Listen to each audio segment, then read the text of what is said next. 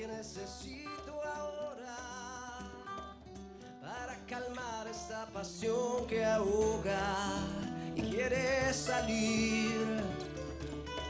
Yo creo que como cualquier persona el apoyo de la madre es, es fundamental. Mi mamá siempre me ha apoyado en todo, en las redes sociales, si estoy nominada, ella está ahí, mensajes, si no, ella apoyen. Estoy